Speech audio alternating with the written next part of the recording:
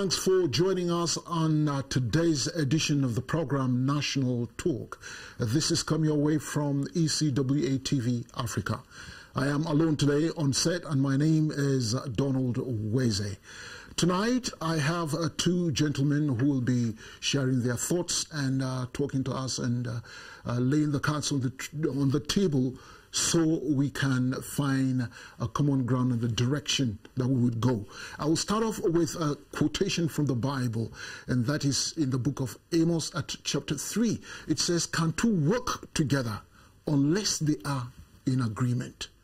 Praise the Lord for that kind of a verse in the Bible, because tonight I have the president of the South, Southern Kaduna People's Union, popularly, uh, popularly known as uh, SOKAPU, in the person of uh, Honorable Jonathan Asake. Sir, you're welcome to the studios. My pleasure. I also have His Excellency Architect Yusuf Barnabas Bala, the immediate past Deputy Governor of Kaduna State. Your Excellency, you're welcome to the studios. Thank you very much. Viewers, the two gentlemen come from a common geographical location, and that is the southern Kaduna, uh, the southern parts of Kaduna State. Now, uh, we are going to go straight into our discussion. Uh, one hour is not going to be enough for us to talk uh, as much as we would want to talk, but we're going to make sure that we can get as much as is possible for you so you can understand how far we have come. At 7.30, we shall open the lines so that we will receive only but three calls. Tonight only three calls. And if you're going to be the lucky person to get through to us make sure your phone is uh, away from your tv set. And uh, the volume should also be very very low. That way we will have uh, quality conversation with you remember at 7.30, the lines will be opened and we shall accommodate only three questions or three contributions. Secondly, I urge you to go straight to the point. We are going to be civil on this platform. This is a Christian station, and therefore, if you get to call in, please let your language be civil and go straight to the point. You will be allowed only one minute to contribute in this discussion. Once again, Your Excellency and Honorable, you are welcome to the studios. Thank you. I start off from yesterday. Uh, let me take off from this uh, statement. Uh, the president of Sokapu made a statement last night when you were on this platform. You said, so far, as far as you are concerned, at the time that you took over as president of Sokapu, you have not heard or seen any invitation or any correspondence from His Excellency so that you can talk one on one, that is, or the association Sokapu and himself in his position as deputy governor. So we're going to take off from there. Sir, can you continue? Yeah, that's right. It was in this studio that I heard that His Excellency, the former deputy governor, had uh, said he had requested audience with Sokapu or something like that. And uh, I said, indeed, if it is with the past, with my predecessor, mm. I have not been told that. But since we came in, this is about six months now, we have not got such invitation from him. And so thank God he's here. I, he has not talked to me about it. He has not said anything. We have not had any written, you know, request to that effect up to now. All right. Your Excellency. Well, thank you very much uh, once more. Um, I say good evening to our viewers. I, I, I, honestly don't want to take over attention from the opportunity, very rare opportunity I have to talk to the people or southern Kaduna uh, on things that are probably even more more uh, cogent at this time. Mm. But suffice to just say that if he was asking for an official invitation, yes, I have not given him an official written invitation. But last month, mm. I called my brother and said, look, I think we need a town hall meeting to do a post-mortem of the last four, four, five years. And his opinion was that he wasn't going to call any meeting on that issue. Uh, I asked why. Uh, can we afford to stay out of government for the next four years? He said, well, the, it's just a matter of time. The present government will leave. I was worried about that, but I didn't go further. I'm therefore very happy that my request to host me here is sparked this discussion, and hopefully it will lead us to a town hall where we'll have some more elaborate discussions that will help the region. That's one. Very quickly, let me say that I'm not here as a spokesperson for the Kaduna State government. Um, I am here basically to say a few things about the misgivings uh, that uh, are out there about my commitment to the people of Southern Kaduna. Let me thank the people, however, that from my discussions, there is a general acknowledgement that I've been patriotic for the last 25 years. But in the last five out of those 25 years, something appeared to have gone wrong. And I want to quickly say that nothing went wrong. I'm still patriotic. I'm still committed to the development of the people of Southern Kaduna. When my brother was on air yesterday, I, I listened to him. He traced the issues of insecurity to uh, just nearby, but I would trace it a lot more backward. Uh, I don't have time for that, but I guess that people like Professor Turaki, uh, the erudite scholar on uh, the history of the minorities in northern Nigeria, will say a lot more on the gradual, uh, you know, erosion, so to say, of the fortunes of the area, right from the pre-colonial to the colonial days and so on and so forth. I would not go into that. But what I want to say is that uh, during my tenure, I want to concentrate on that yes. and say some few things very, very quickly that hopefully will convince the viewers and the people of Southern Kaduna that indeed I, I was still the Bantex they knew. Uh, the only difference being that I was the only deputy governor. Mm. Uh, people out, were out there on the street. Uh, they had their perceptions driven usually largely based on partisan considerations and other uh, considerations. Okay. And there was the need for me to align, probably in order to be accepted with those perceptions. Mm. And I found it difficult to do so because if they would be forgiven, eventually I would not be forgiven because I have the facts as against the perceptions out there. Okay. I was a deputy governor for four years. Mm. I did not serve as a spare tire. I was, was very involved. Mm. For example, uh, myself and the governor and three others appointed the commissioners. Uh, after that, we also were in charge of allocation of projects and programs across the state. If you look at the list of commissioners during that time, because I'm talking about the period during which I served. Yes. If you look at the commissioners then, we had commissioners in very key ministries from Southern Kaduna. Agric was manned by Manzo. Health, mm. another crucial ministry, was manned by Dr. Dogo. Mm. Education, another very crucial ministry, was manned by by Professor Nok. Mm-hmm. And Onazi, uh, you know, the lady from Kagoma, was the head of service. Uh, you know, these are the kind of appointments that I participate in presiding over them, you know, that we made. Uh, if, you, if you got into projects, uh, you find that we had no consideration for religion or ethnicity. Uh, what we did was to have consideration for what is known to law and the Constitution and that is the zonal arrangements, the local governments, and so on and so forth. Okay. And we had that. We had projects spread, projects in education, projects in health across the entire state. We renovated schools in the southern zone, mm-hmm. like we did in the central and the, the north. Mm-hmm. We we built primary health care centers across, and but I will tell you that contrary to what happened before I came mm-hmm. as deputy governor. Uh, we were beginning to do projects in the southern part where hitherto there were no projects. Take the Barnawa area, for example. We had awarded a contract to dualize the, the road from the railway station through to the uh, to the uh, uh, uh prisons, mm. and we were building roads within Barnawa, which was not there before. Before now. Okay, Your Excellency. I, I, I think I need to I need to quickly okay. to quickly put this make this very clear. Uh, because it is very important. Because all we all I should be judged for is the way that government was run. But more importantly, which is something that agitates all of us, is the insecurity situation. Yes, that's the reason why I, I wanted to inter. I So can I, can I talk on that? Yes, go Can ahead. I talk on that? Now, on insecurity, we were sworn in on the 29th of May, which was a Friday. Mm-hmm.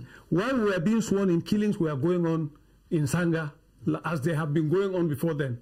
Like I told you in the last program, in my community, over 100 people were buried in the same grave, mass grave, Mm-hmm. in 2014. That was before we came on board. And therefore, what did we do? We got sworn in the in the even in, in, the, in the afternoon. In the morning, we had called an emergency security meeting to get a first hand what was happening in southern Kaduna. That led to the appointment of the Martin Luther Committee, which gave us a report. And we sat with Martin Luther in the Executive Council and did the white paper, which we implemented. And gradually we are beginning to see a return to peace based on that. That that his uh, that that the general did not probably go into you know explaining a little bit more to the community that this is something I did. Uh, you know, it's something for, for, for, for, for him to, to probably explain. But I believe that if he said, if he did this explanation, probably people will understand. But what was the narrative out there? The narrative was that, in fact, saddled with the responsibility of securing the lives of the people, it was actually we as a government that were doing the killings. So you hear people seeking attention, they will say that, look, there is an airfire in the aircraft dropping guns. You can see his name on the guns. oh, there is an airfire that is pushed truckload of guns to Dangoma.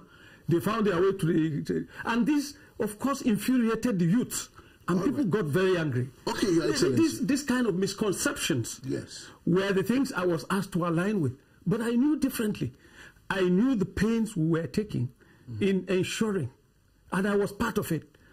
Uh, Yes, Your I- Excellency, I, I, I- know that, uh, you, you are giving us a picture of what happened Yes. during your During my tenure. Your, your tenure. You know. Now, uh, one of the statements that uh, was made yesterday Yes. that, um, that that brought out this this uh, narrative that you're giving has to do one with the issue of uh, uh, citing of, of, of projects of government. Okay. That is one. Number two, up till uh, in the, I, I don't know as at today, but in the recent a few hours, possibly last week, killings are still going on in southern Kaduna. Uh, Honorable Asake.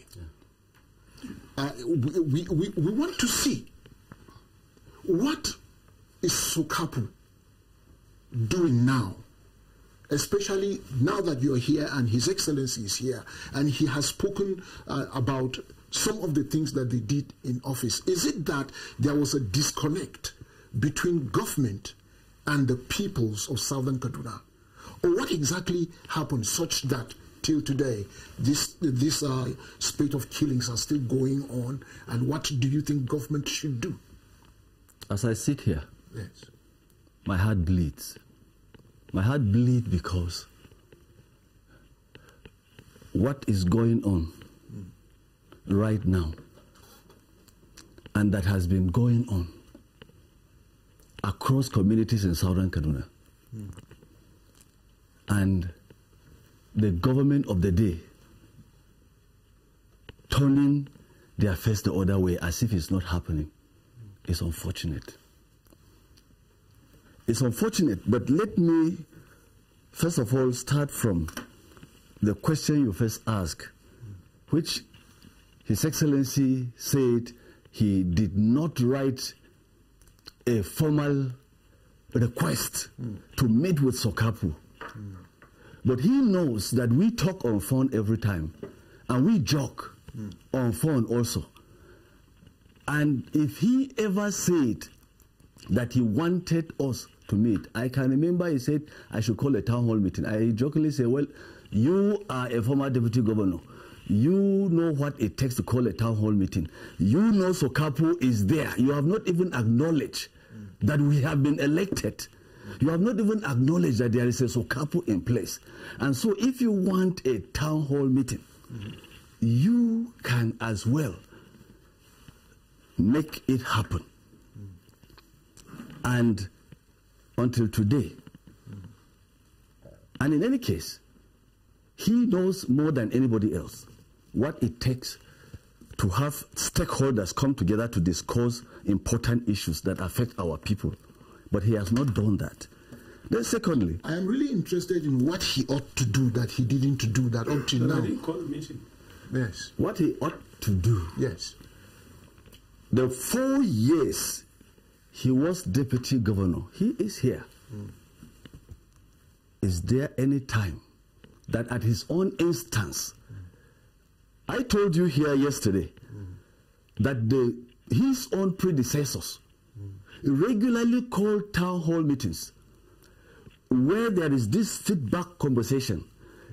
They will call town hall meetings of various stakeholders and find out what are the struggles of the people, where they think government is not doing well, and what they need. And then he, the, the, his predecessors will in turn tell the people of Southern Kaduna what the challenges of government are. And they will take that to the government, to the governor. And that was the kind of relationship. But I told you here, and he's here. For the four years he was there, there is no such one single okay, meeting. Can I, can, I, can I break in and, no, no, no, no, no. Wait, you and say that that's wrong? Your, ex your Excellency, okay, fine, wait, fine, that fine. he ever called mm -hmm. A meeting, a town hall meeting, and say this is what government is doing, or what do you expect from government, or what problems are you seeing with government? The only thing we saw is that at every avenue he got, every avenue he got, he was the spokesman, not the deputy governor, of the governor. And any attempt to raise any issues concerning the governance style of his boss, El-Rufai, he kicks against it. It didn't matter whether it was in the church, it didn't matter whether it was in our own when we invite him, I remember very well when we invited him, Sokapu, mm-hmm. under the leadership of S.K. Musa, what I'm saying, I'm saying with all sense of responsibility. When he was invited in Hamdala, for uh, Sokapu had formed a committee, a political uh, committee, so they were giving their report. Mm-hmm. And when he came, he said things that we were told, he said in the USA when he went into Atlanta for SOKAPU convention in Atlanta. He went with his then chief of staff, with some other people who came with the report. We say, no, this cannot be true. Our deputy governor cannot be saying these things. And let me tell you, he said things like this that there is nothing like Southern Kaduna. Secondly, mm-hmm.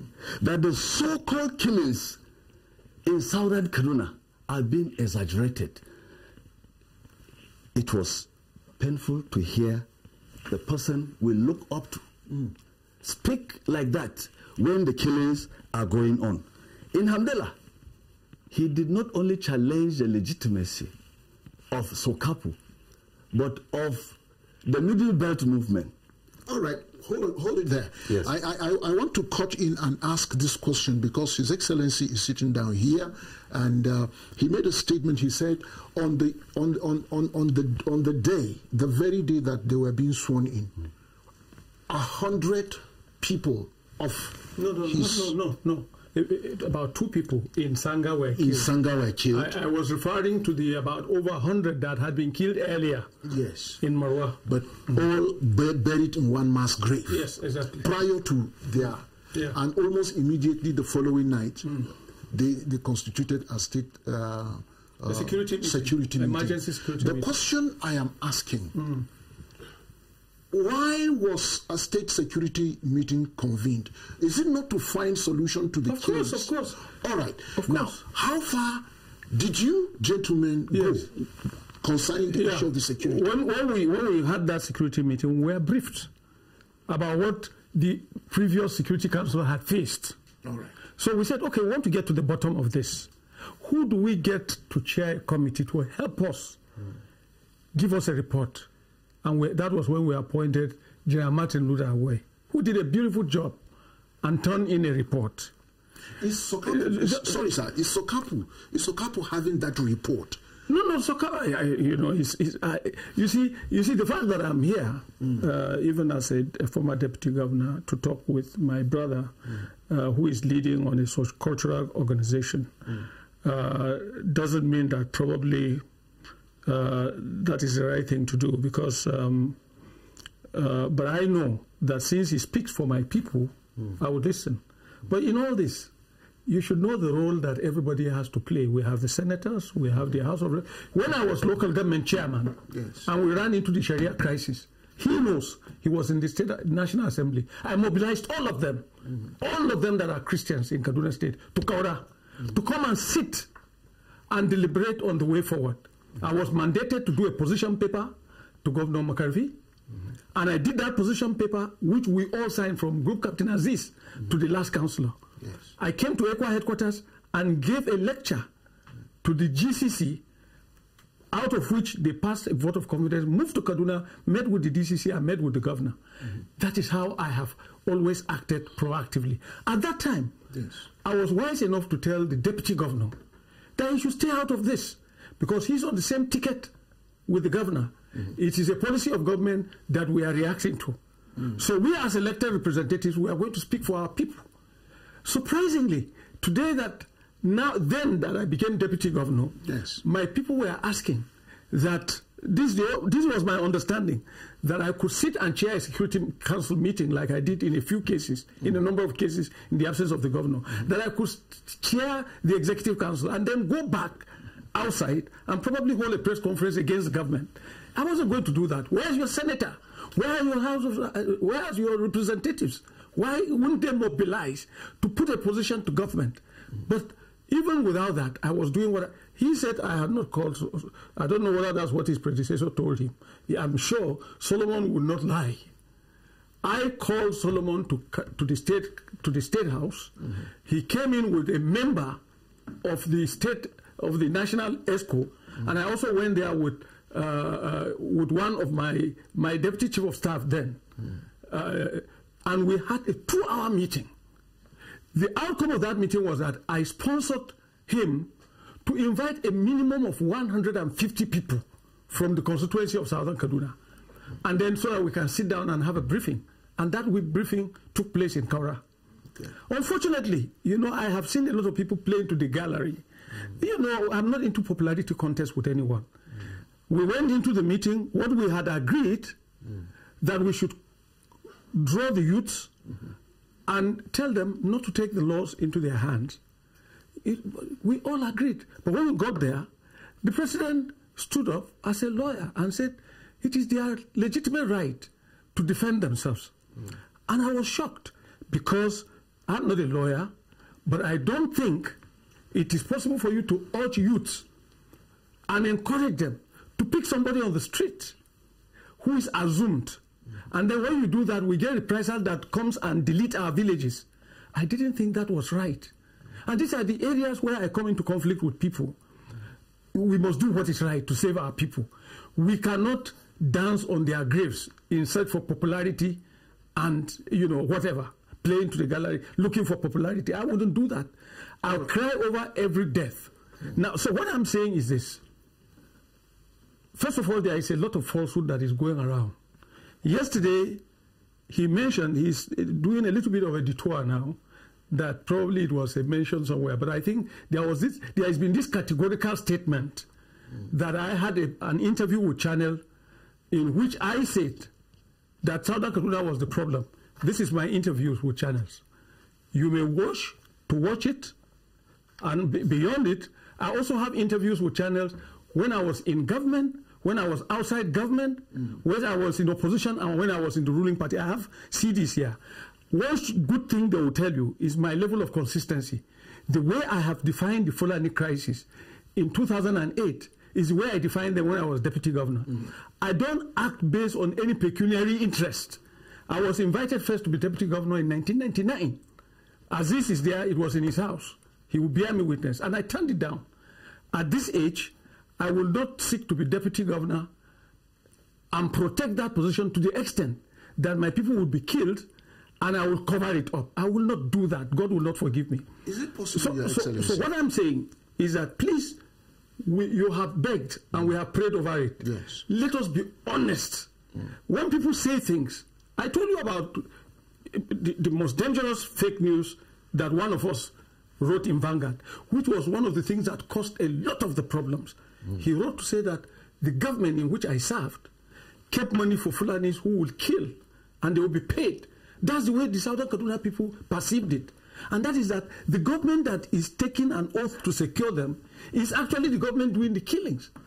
All right. So, so what I'm saying is that there were in many instances Yes. falsehoods, outright Well, falsehoods. I think- So- I so- think- and I thought, I, I think I thought, just a minute, and I thought that aligning with that, if they get before God and say, "Oh, sorry, God, uh, we didn't know the truth. Uh, You, you know, please, we, we are sorry," they might be forgiven.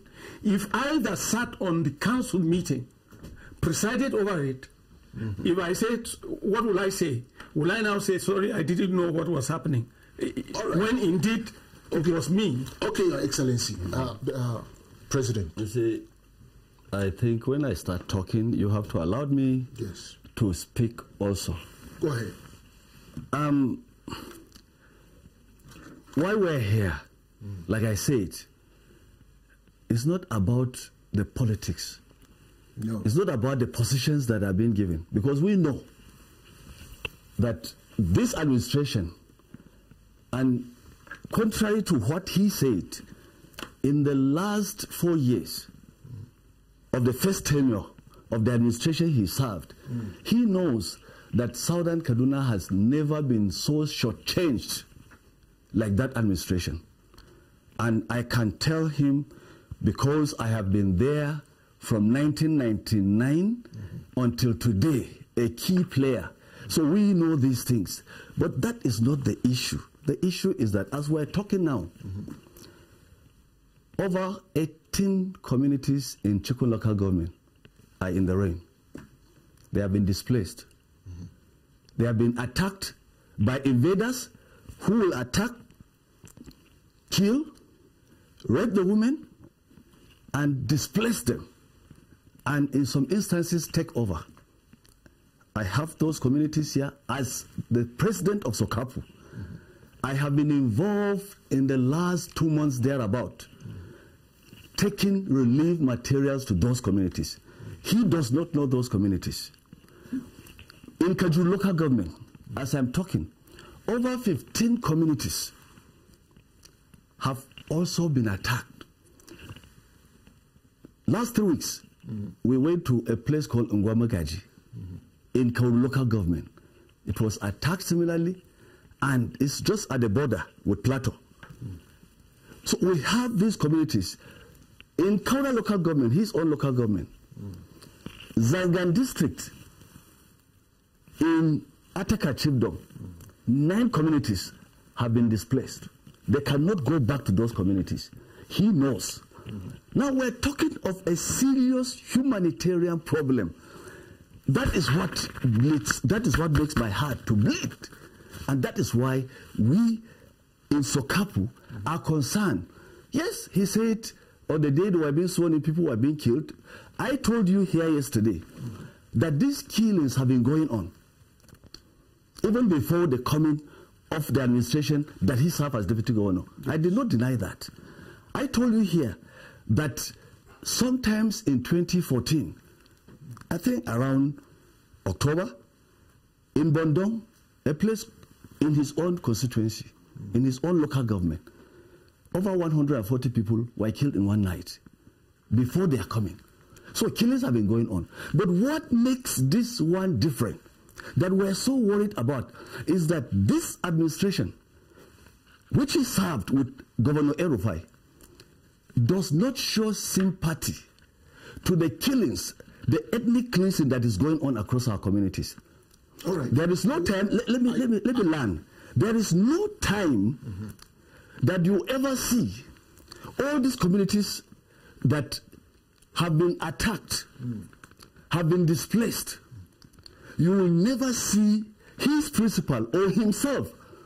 He- of course, he is whether it is today or yesterday, he has risen to be one of the most illustrious sons of Southern Kaduna. And that empathy needs to be, to be shown. Mm. Let me give you an example. The reason why I wanted to eh, interject, sir. yes. Hold your line of thought because I have to go on break. When we return, you will continue with, okay. with your line of thought. Viewers, don't go away. We'll be back very shortly. It's time for break.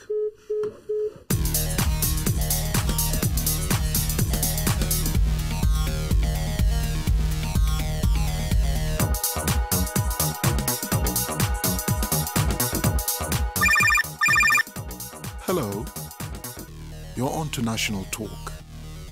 Share your views on National Talk, 7 p.m. to 8 p.m. Thursdays and Fridays. Calls only.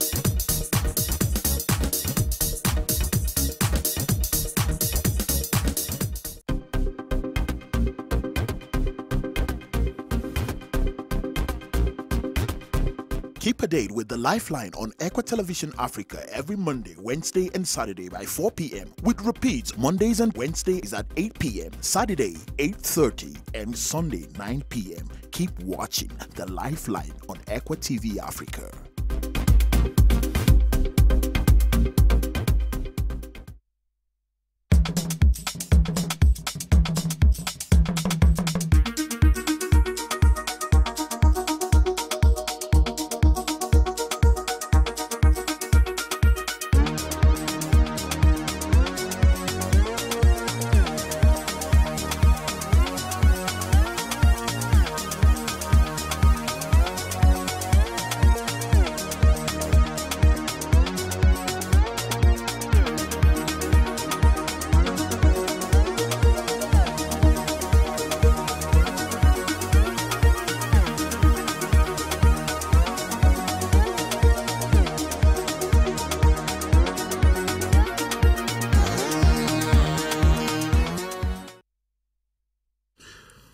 Just tuning in, it's National Talk on ECWA TV Africa. I'm still Donald Weze. I have His Excellency, uh, Architect uh, Yusuf Barnabas Bala, still in the studios, and uh, Honorable Jonathan Asake, the President of uh.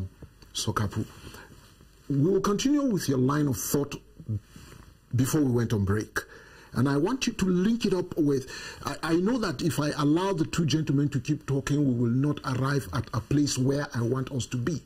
And what I want us to do is to find what is the way forward. Now, continue with your line of thought. Now, now what I'm trying to say is that truly I am here because I've been everywhere crying about the plight of my own people, the people of Southern Kaduna.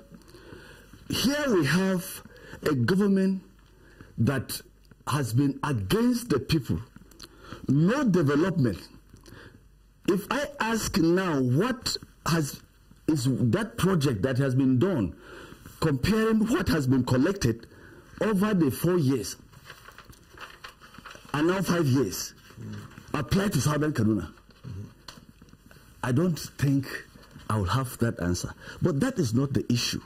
The issue is this that people are being killed, are being displaced, and their communities, their, their lands are being taken over, mm-hmm.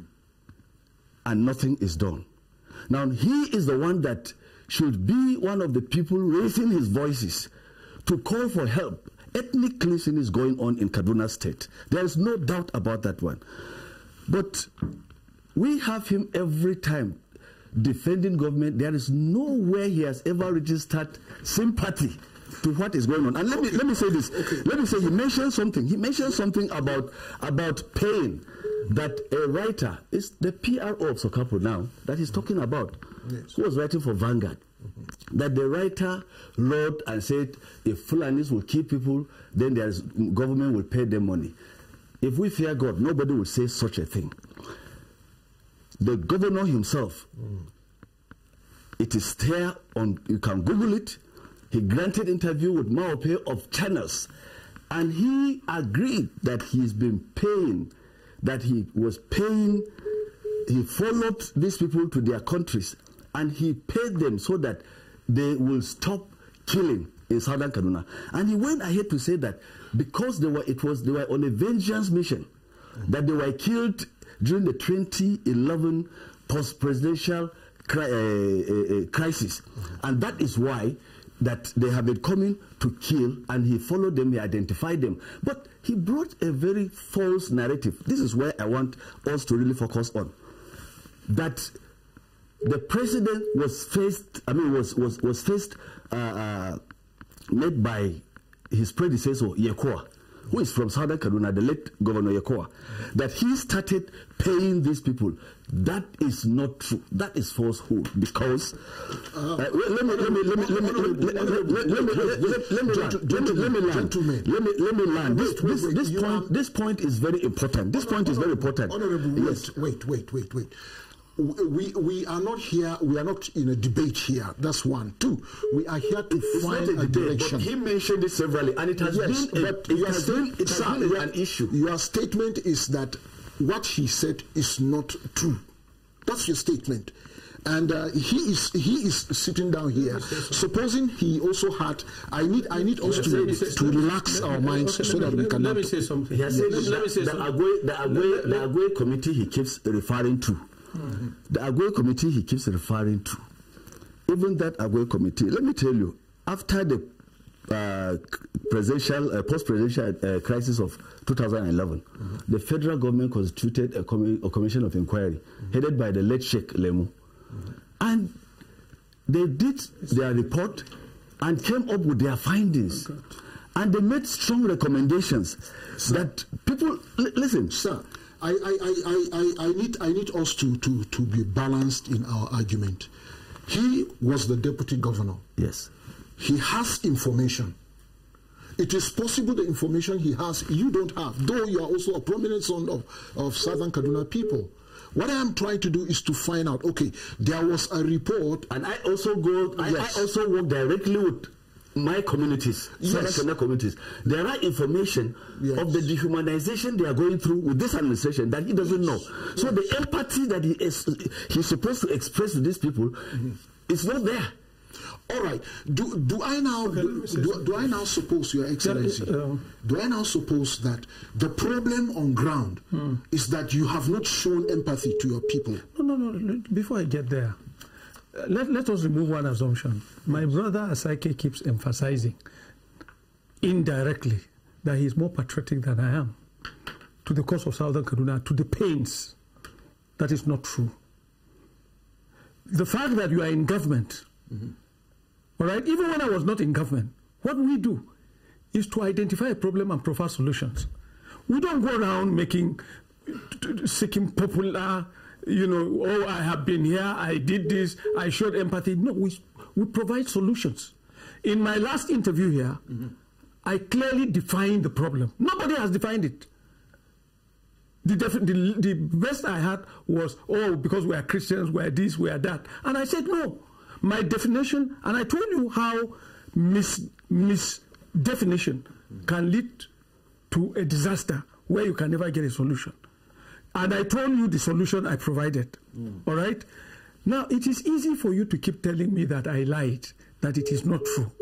It's very easy. For example, in your own case, you said I had an interview with you, and I have dropped this, which will tell you that it is not true. You said we never made appointments that balanced. I have given you with names. You have not said any names. No, I'm not going to I, I, I, no, excuse me, just a minute.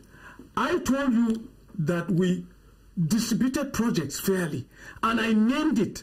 For example, during my time, the costliest road we were constructing outside Kaduna City, in any place in Kaduna State, was in Zango Kataf, the urban uh, Kafanchan project. That road is still there. It has not Wait, been done. It was started by the, in fact, by the previous government. Okay. And the You road you- is talking I- about. Let me finish, let me finish, let me finish, that is let me not- finish. I have a call coming No, in. just a I- minute, let me- let me- I have a call coming in, please. Hello. Good evening. Good evening, my brother. Uh, uh, this is National Talk on ECWA Television. Who is on the line? Yes, uh, I'm Kure by name. I'm calling from Kaduna. Okay. what's your contribution? Uh, good evening, my two brothers there, the, the Honorable Asake, His Excellency, the, Deputy Governor. Go ahead. Remember, you have one minute. Okay. Uh, honestly, my Bible tells me that I should not put my trust on man. Rather, he will fail me. That's what uh, His uh, Excellency has said to me. And He would have loved to stay in the uh, chairman, so to speak. But uh, as he went to be deputy governor, he has failed me. Hopefully, thank you for giving me this opportunity. Okay. Hello? Hello? Okay. Yes. Yeah. So what, what, what I'm saying here is this. When we talk, we talk with facts. Uh, I've had the last caller. He's, he's, he's entitled to his opinion. Posterity will judge, ultimately. All right? I have been vilified. All right? And I'm here to say that I, I see no reason. And I, and I want somebody to tell me which of the policies of government was anti-Southern Kaduna, which I supported. Which policy? We, I have talked about security. I've talked about uh, reforms in education. I might not have talked about uh, reform in the public service. I might not have talked about the, the things that placed us internationally. Sorry, another call is coming. Hello? Hello? Yeah, good evening. Yeah, good evening. How are you? Fine, thank you. Who's on the line? This is National Talk. Yeah, this is uh, Reverend Joshua calling from Kaduna. Reverend Joshua from Kaduna. All right, go ahead and uh, share your thoughts with us. Hello? Yep. Go ahead and talk to me. Yes, okay, I, I, I like the talk that is going on now, and then I, I want to, if our our moderator there will actually tell us, uh, uh, of course, the, the, the people, uh, the honorable and excellency, if they can easily tell us uh, the, the present solution to this killing that is going on in southern Kaduna. It Okay. is just so devastating. So I think, well, taking back the power record and all of that, but what is the present situation? What is being on ground now in order to save the situation? Because people are being killed day in, day out. People are being displaced. Their are being destroyed. What is the remedy? I All think right. that will help us.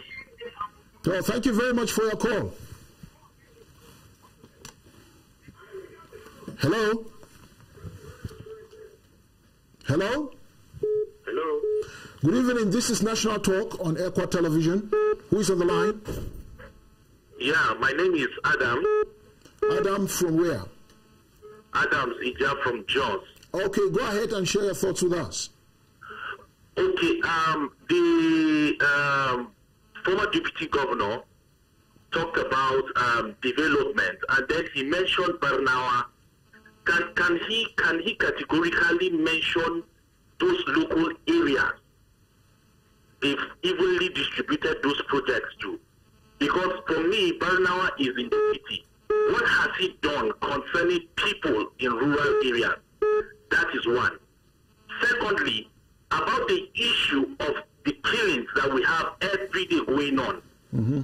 What is his take? What has he ever come out on national television to condemn this killing? Thank you very much. You're welcome. So we'll take this this too. Uh, it's open. What's the way forward?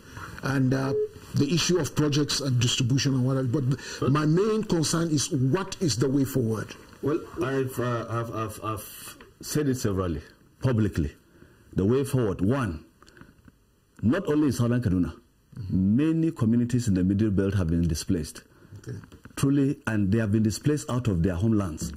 And the government of the day, if they are really serious about solving this problem, should eject those people that have occupied these lands and return the original owners to their homes and rehabilitate them. That's number one. Number two, most of these communities that have been attacked, they have been attacked in a guerrilla style.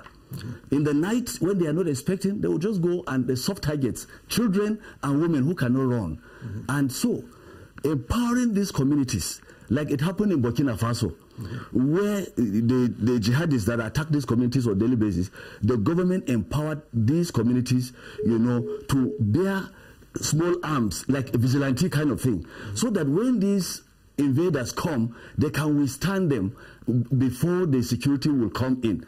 And then forming a joint civilian task force too, you know, so that they can be part of the, the, the, the, the civilian uh, population there, the youth, will be part of the, the, the, the national security uh, so that they will monitor what is going on. Because there are instances that some bad eggs within the security forces have also colluded to perpetrate these crimes. Therefore, if the government takes these steps, joint civilian task force, empowering the communities to form vigilante groups, and then returning these communities that have been displaced and rehabilitating them, that will go a long way in solving this problem.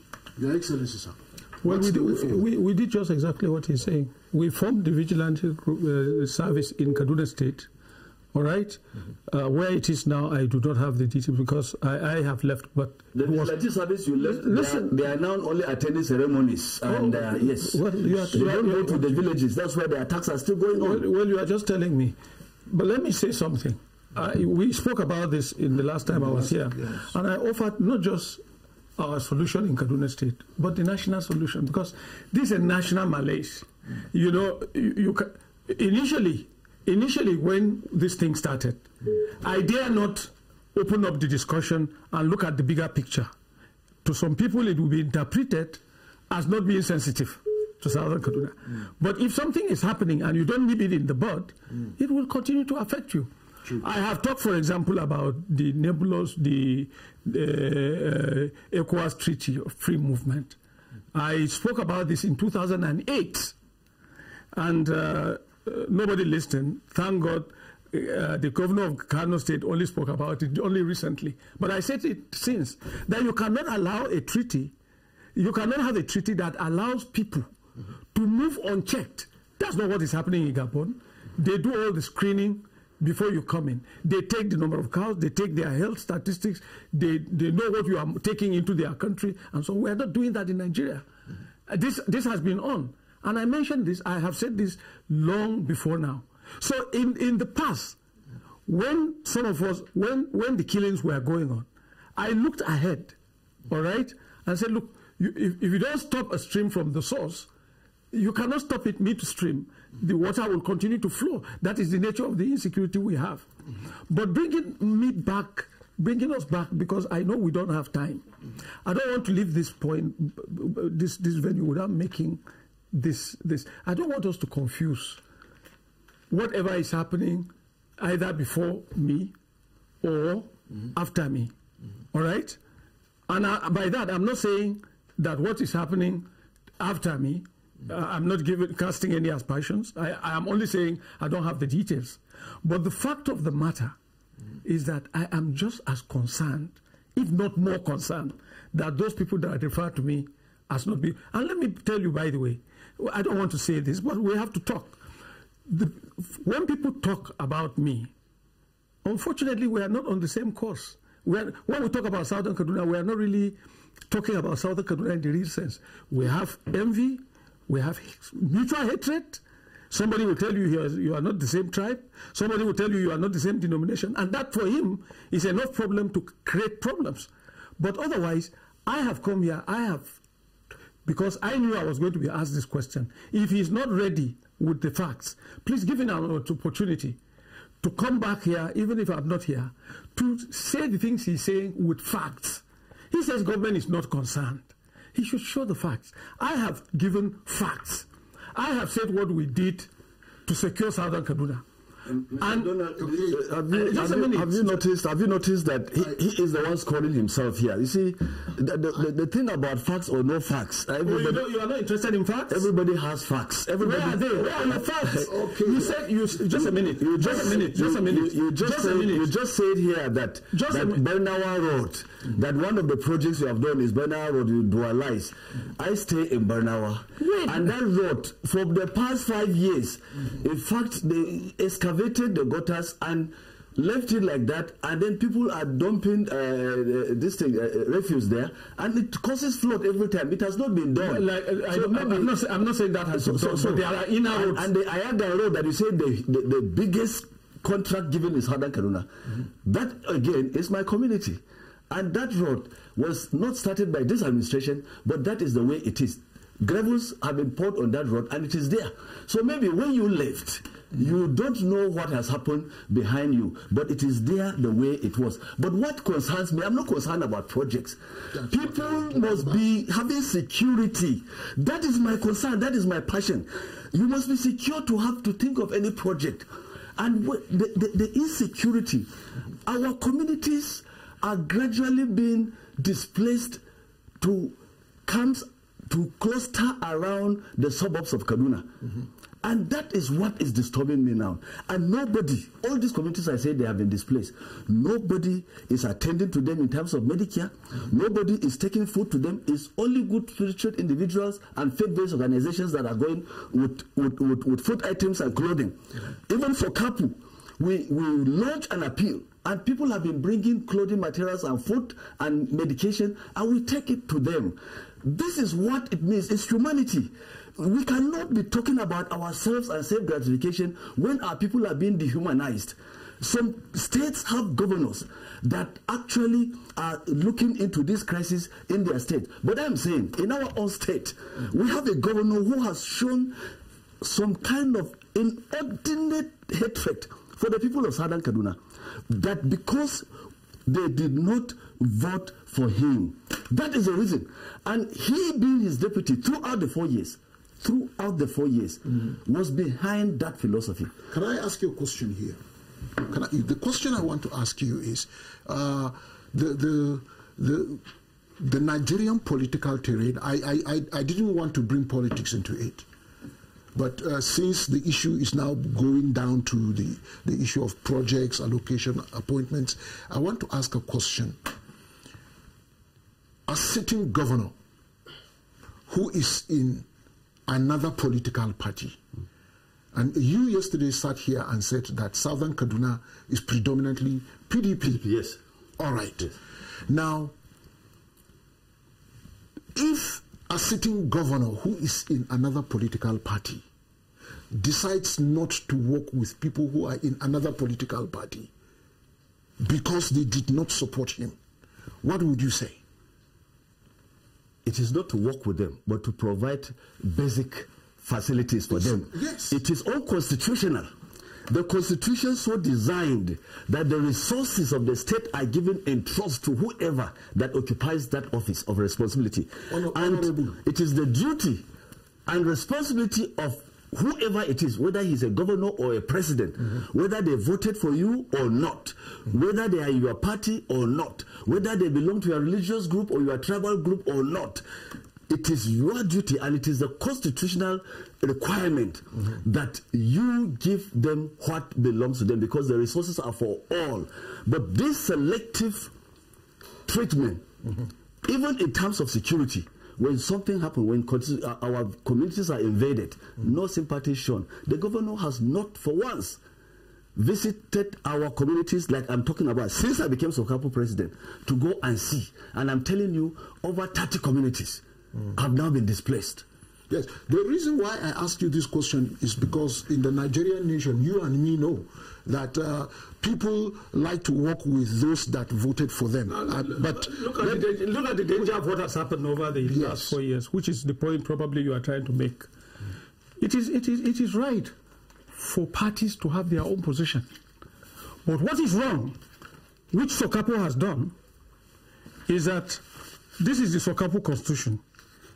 If you look at the objectives of the Sokapu position, uh, constitution, it says clearly under section 8, 1, that it shall enhance the bond of unity among the communities and people of southern Kaduna, irrespective of political, tribal, religious, or cultural affiliation. Okay. That, that they didn't do. They came out very clearly. Some of us restrain ourselves from setting a, an APC Sokapu. Mm-hmm. All right? Because clearly, Sokapu came out and said it was a PDP thing. Southern Kaduna was PDP. And therefore, what have they given us? Including us that are in APC, no, no. is that just a minute? Can, can, what, just a minute. Now, what, just a minute. Let me fin- uh, you spoke. Now, what has it cost us? What it has cost us is that it looks as if it is not even the PDP that is the opposition to the state government today. It is Southern Kaduna. Because the leadership of the zone, not even the political party, came out collectively and denounced and went against that political party. If I mention statements that were made here, I'm sure people will get even probably more angry. But this, but they are facts. They are facts. Okay. So what we are saying is this: I will, I will bec- before I'm cut down. I mean, before time runs out, I will advise Sokapu that is the direction of to go. Before the advice, just a minute. Before the no, advice, no, let, me, let, me, let me make an observation. Before the advice, you I don't have, want to run out you, of time. You, you have, you have, no, you, have, you have had ample opportunity. He has had ample opportunity when he was deputy governor for four years to call for CAP and give this advice and give a sense of direction and a sense of leadership. But Where's the senator? He, he, he, he ran away from that. He was a deputy governor. Wait, I, as a deputy I, governor, I want us. I don't. I don't want us to. You see, we are today. It is not here. about the senator. It's not about the member of the House of Reps. Oh, it is giving leadership oh, to the political. And so that's why you said even if they go, you don't care so long as he's PDP. Now you you elected. I want you. I want you. I, I, I, I want you to understand where I am going. That's what you said. This. I want you to understand where I am going. I want you are the president of SOCAP. Yes. What is the way forward? We all these years things have gone wrong. Things have gone wrong. What I am picking from the two of you is that you are, you all love your people. You want progress for, no, for him. I don't you want direction, and uh, you are in the best position tonight here to show the world that you are together and you are moving in a particular direction. What I am seeing is a debate. Mm. That's the truth. Things have happened in the past, yes. Things are still happening today, yes. And they will happen tomorrow. But you are leaders and God put you in these two positions. You as a former deputy governor and a leader and a stakeholder of Southern Kaduna peoples, and you as the president of Sokapu. Mm. Now, this is the opportunity to sit down and say, this is the way forward. That's what I'm let me, let me say one thing that is the way forward. Anybody, when you rise into any position, particularly a political position like the one he occupied. It's all about me. Yes, it's not all about you. Whether you are a commissioner or you are a member of the House or whatever, mm-hmm. it, it is a duty, a very righteous duty mm-hmm. for you to look at your people, where you are coming from, and know that you will still go back to them. And then look at the government you are serving and be able to tell them the truth. That is what I what I, I said here yesterday. Our sons, the Sokapu sons and daughters that found themselves in this government, erected a very strong wall between the people mm-hmm. and the government. And the, gov- the governor himself, I will not just blame him for everything because what he hears from people that serve close to him, people that have been given positions of responsibility like him, don't look at him and tell him that this is where our people mm-hmm. are struggling. You must, be, you must be a member of the Executive Council of Kaduna State. What it's to, know, to know what we say no, and what because we if, if, if you say so, mm. you said everything that has been done mm-hmm. was done with him. Now let me tell you, in Kaju local government, after the the, the, the, the kidnap and murder of the paramount ruler there, mm-hmm. an emirate was created. And up till now, mm-hmm. the chief, a chief for these people, has not been uh, reappointed. And up till now, the killings, more of the killings are going on there. Nobody to help direct the affairs of that place. Now, if he was there in that decision, what did he do? What I did? And then the names of our chiefdoms have been changed. Chiefdoms bear the names of the ethnic nationalities they come from, mm-hmm. like the Agam Ogrok, which is Sarki Kagoro, mm-hmm. and uh, Agam Baju, which is Sarki Baju, or the chief of Baju, mm-hmm. and so on and so forth. But his own administration, his own administration okay. changed these names his administration or the administration of Governor El Rufai. Of Governor El Rufai, we, because we he need to put it in perspective. Well, well, his administration, because he said everything has been done with him. So I'm trying to point out some things that actually our people are worried about today. And he has not seen anything wrong with that. That that names of these chiefdoms, he did not, El Rufai did not create these chiefdoms, but that names of these chiefdoms have been changed. That they should never bear the names of their ethnic nationality, but bear the names of towns. All right, uh, Honorable, I, I, I, I, will want to ask a question, Yes. but the question is going to be directed at uh, His Excellency. Meanwhile, I want to tell our viewer out there that uh, the General Manager of uh, ECWA Television, Engineer Cho- uh, Tony J. Nakale, has graciously allowed me to run this program for the next 30 minutes. So we still have enough time to discuss more and get to the very root of this. Your Excellency, sir. The change of names of chiefdoms or, or, or rulers of local communities. Agwambaju is no lo- is, is no longer being Sarkin addressed. Zonkwa. Sarkin Zonkwa and the rest of, and the rest of them. What happened? What happened was, in fact, in fact, I was largely responsible for that. Not even the governor. Right. The reason being that the reason being that part of the problem I discovered, apart from the over-factionalization of our of our area, which creates tiny divisions that make it easy for us to be overrun. Because a more perfect situation for me would have been to even have one chiefdom. Because then our unity would be difficult to break. But so be it, we already have been broken into small pieces. Everybody talking about tribe and so on. Contrary to what we see in Zazzau, for example, where you have the emir of Zazzau, all right, deliberately refusing to say the emir of Hausa uh, or the Hausa uh, or Fulani or whatever. The reason is this. As part of the, the, the, this crisis, I, I put on my thinking cap. Each time we had a meeting, people would say, Oh, the Fulanis we live with, we've always been in peace. They give us their Fulani, no, no, we give them our land to stay, the fertilizer we use. And, and, but nobody went beyond that to say, then what went wrong? And one of my findings, I may be wrong, but we always need to keep thinking. That is what leadership is all about.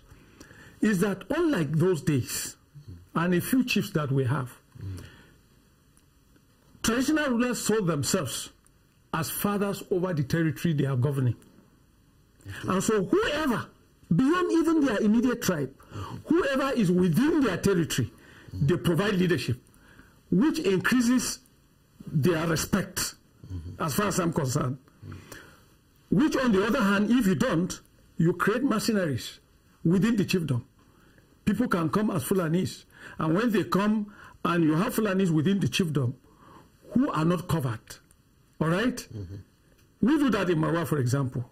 Of course, we've been criticized for that. That oh, we must be we must be aligned to Fulani, to Islam, and so on.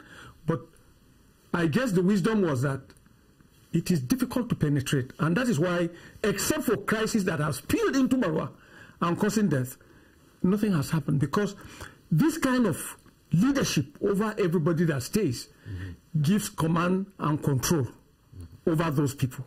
So I thought that instead, and, and I, I was supported, I thought that if the, the titles was related to the territory, it will give them a bigger respect. All right? That is not to say that they've, you've obliterated the tribe. No. No. It's a strategy. It's a winning strategy for the chiefdom. All right? Mm-hmm. But what then happened was that, of course, a committee was set. It came out with proposal of names. I personally, it's not, I don't agree with every single thing. Mm-hmm. I felt that, for example, the Atyap community said, because we now sent that to the chiefdoms and said, if you want to make corrections, you can make corrections, but don't name it after tribe. Name it after territory. For example, the Kataf came and said, Ogwamabina Tiab. Mm-hmm. And for those people who are in the council who are not, who don't understand the language, they try to resist. I said, no, Tiab is territory. You have to allow this pass. All right? It's territory. Because we are saying, let it, uh, it doesn't have to be circling. But it was not No, allowed, listen. to, it was not allowed to pass. No, listen to me. They changed it to No, no, which is a town. Li- it's a small town listen- that does not capture the attack. No, you see, you, you see, you see, that that brings me to why I think I have to advise you. All right, before you give him the, the advice, Your Excellency. Yes. There is a call coming in. Hello? Hello. Good evening. Hello, good evening. Good evening. Who is on the line? Yeah, this is Victor. This is National Talk. Talk to Yes, me. this is Victor. Go ahead. Okay. Uh, I want to make a comment as regards this discussion, sir. Go ahead.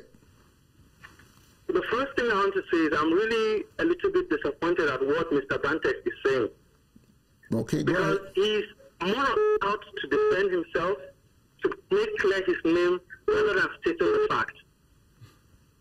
These kings, this leadership, they come from a history. These are diverse ethnic groups in southern Kaduna who have a history and some sense of autonomy by their tribes. Mm-hmm. While limiting them to particular, our history is being changed. Day in, day out, you go online, you hear a lot of statements like Zango Kataf was won the place 400 years ago by the Fulanis. These are blatant lies. Our histories have been tampered with. And this man could come in the quest to clear his name and put the people's lives at risk. This is rather untenable and unfortunate that we could have a son like that and who, who does a thing like that. Secondly, these people, I, in fact, I, I'm thankful that this thing is brought back again because in the first interview I was not satisfied with it. Mm-hmm. The, the reason is that, one, these people, the governor said they are on a revenge mission. I'm just 39 years old. But they should tell me when the Fulanis were attacked, which particular tribe, who attacked them, and on what mission are they?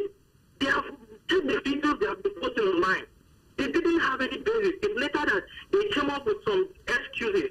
And when he comes out to say, even the the the the, term, the, the, the, term, the terminology uh, hard uh, hard uh, farmers clashes is wrong. There was nothing like that. These people are maimed. Let's talk about the Adara Kingdom, for example. These people are maimed day in, day out. There was nothing agriculture. They don't farm in their rooms. But their houses are burnt, their churches are burnt, and yet it's disgraceful. I, I want to humbly say, with all due respect, Mr. Bantex should be concerned about the people. He should come out, he should say what is the right thing, and his name will be clear. But this is more of like what Hassan would call Koskarima, a kind of and shine thing. Okay, uh, Mr. Victor, thank you so much for your contribution. Well, viewer, we are going to pause for a moment and take a break. When we return, we'll continue with this discussion. Don't go away. It's National Talk. Us on the segment of the morning show where we bring you reviews on some communities um, and considering the fact Any that sort of uh, animals to do one thing or the other. uh, was, was, Yes. Well, so far, so.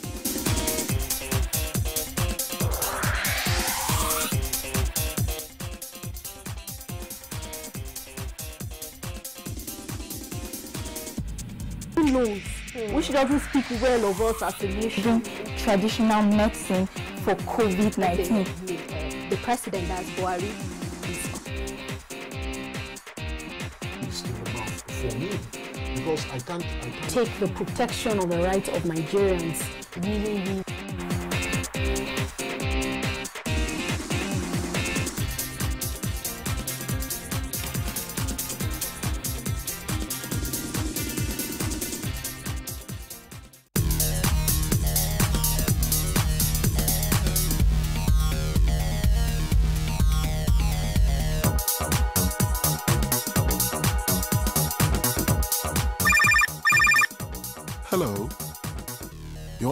National Talk. Share your views on National Talk, 7 p.m. to 8 p.m. Thursdays and Fridays. Calls only.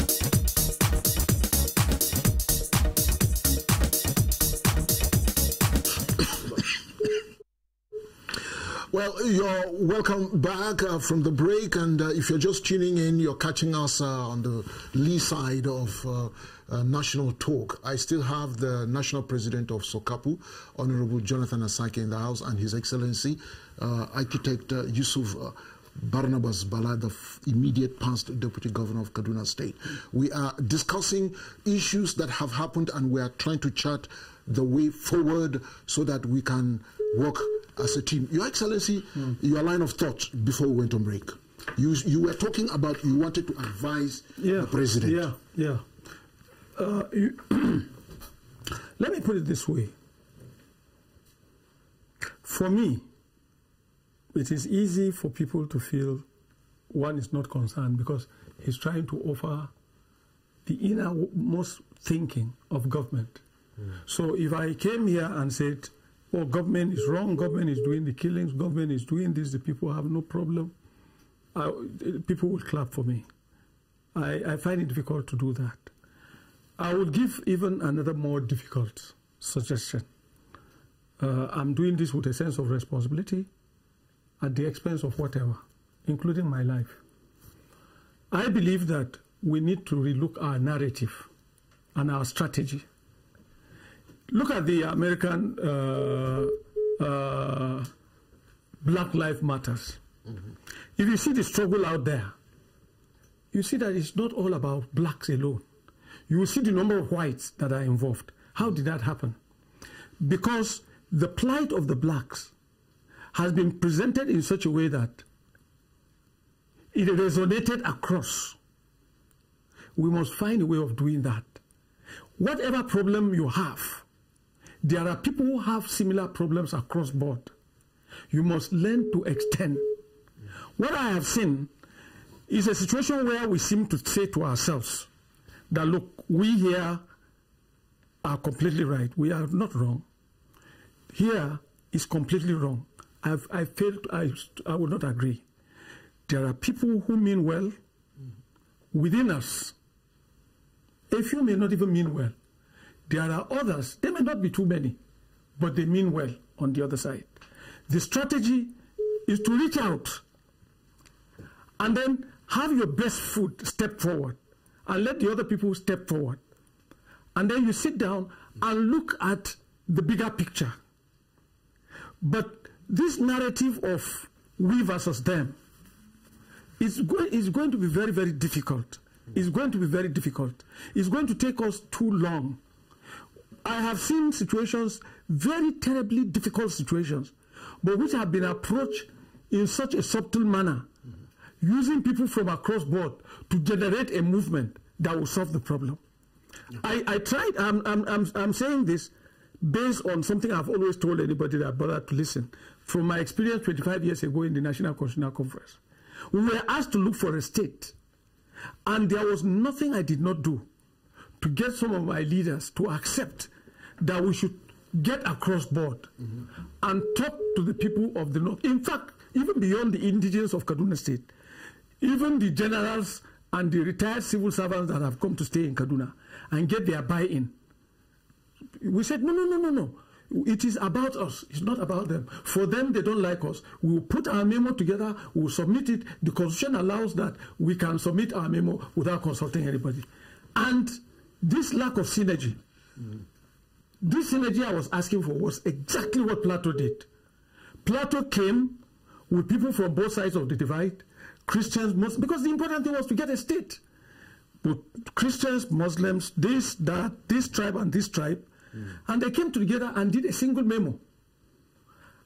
By the time they came to the National Constitutional Conference, I knew they were going to get their state because they were seen together, the royal fathers from both sides, mm-hmm. the, the you know everybody. And by the time they penetrated the, the organs of the conference, the Southeast Caucus, the Northwest Caucus, mm-hmm. and all that, they left with Nasarawa State, even though Gurara was by far more qualified. All right. Oh, I'm, just, I'm coming. I'm coming. So I am begging mm-hmm. that yes, we are angry. We are angry.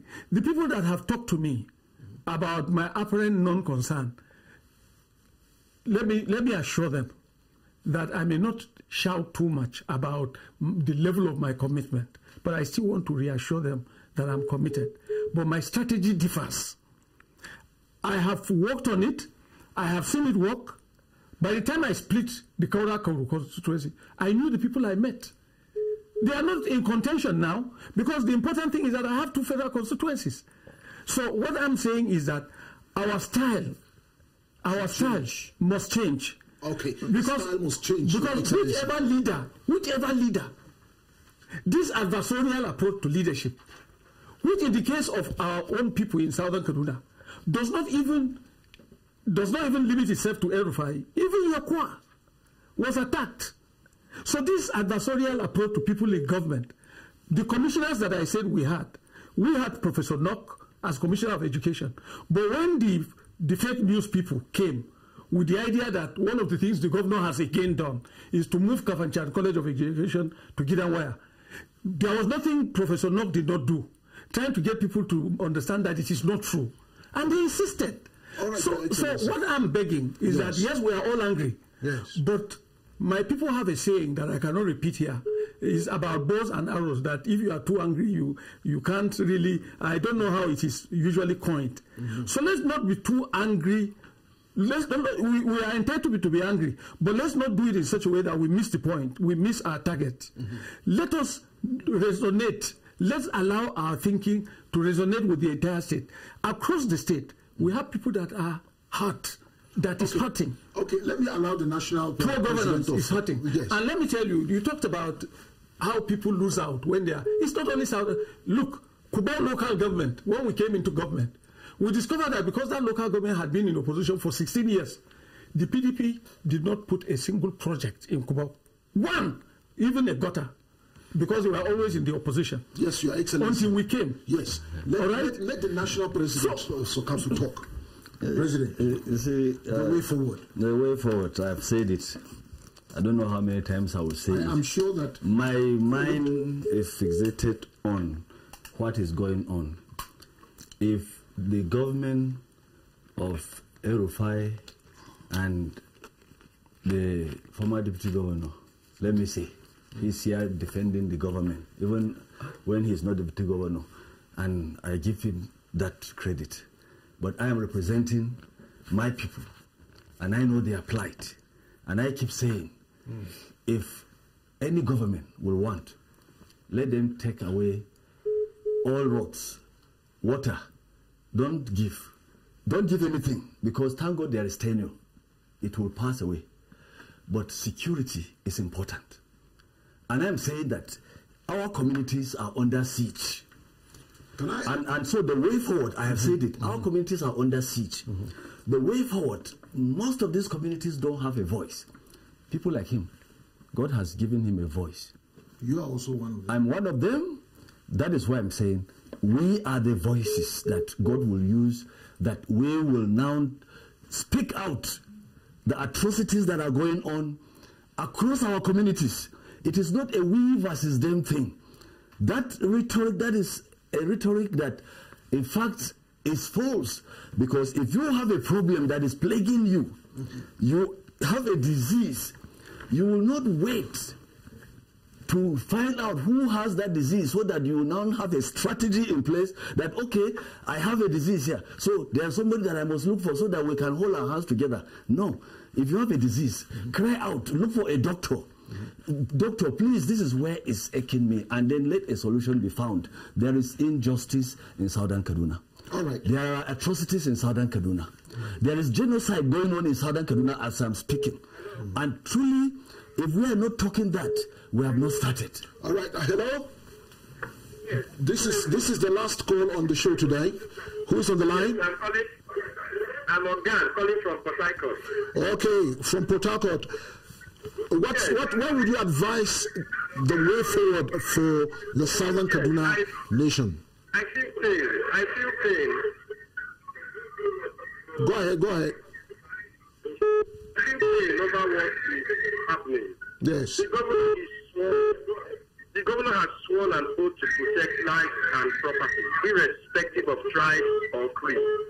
He should double effort in protecting lives of all assembly. Mm-hmm. What is happening in Kaduna is enough to stop his presidential ambition. He should redouble his effort in protecting life and property. If I have, if I have my way, I will go into politics.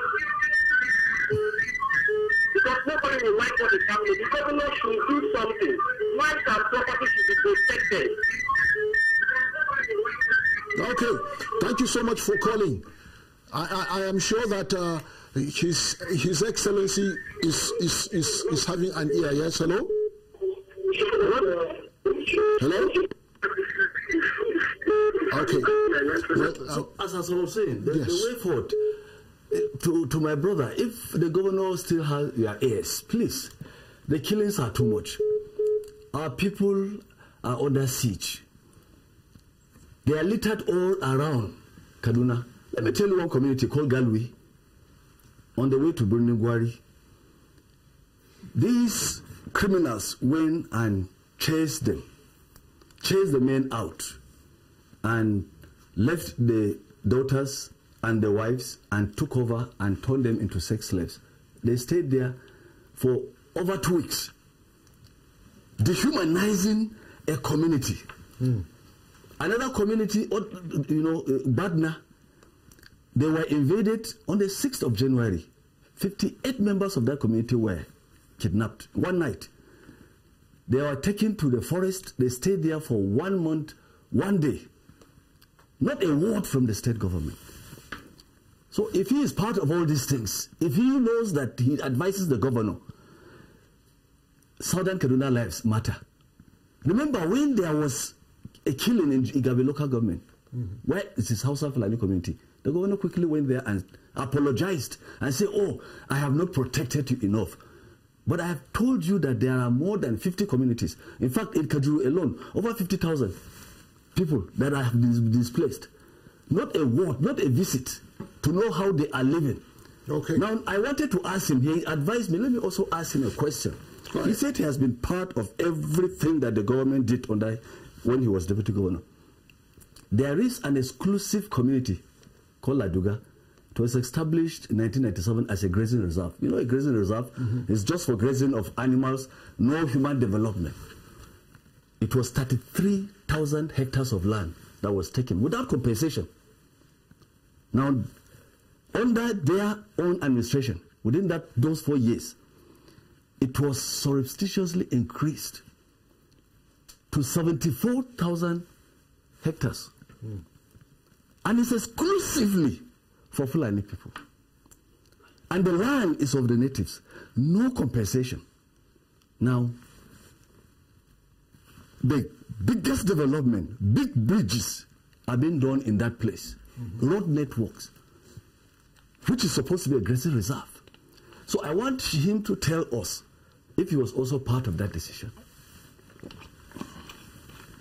I, I, I, I, I, I would I would allow His Excellency to respond to that quickly so that we can we, we can wrap up. But mainly, mainly, uh, when we keep bringing up issues and issues These are the and issues that are disturbing the people. Let me tell Yes. you, the people out there, like I said, Southern Kaduna lives matter. He has mentioned Black Lives Matter. Yes. One man, one man was killed. The whole world stood still because people rose up to say this is wrong. But thousands of people are being displaced. Hundreds of them are being killed. And nobody is rising up to say this is wrong. Why can't Southern Kaduna lives matter? Yes, this it, it, it, the issue is yes, Southern Kaduna lives matter.